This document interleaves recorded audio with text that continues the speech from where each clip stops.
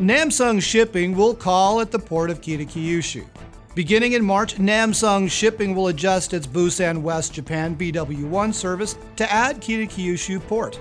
The new rotation is as follows Busan on Wednesday, Hakita on Thursday, Shibushi Friday, Abu Saturday, Hososhima on Saturday, Oita on Sunday, Hibiki on Sunday, and Busan on Sunday.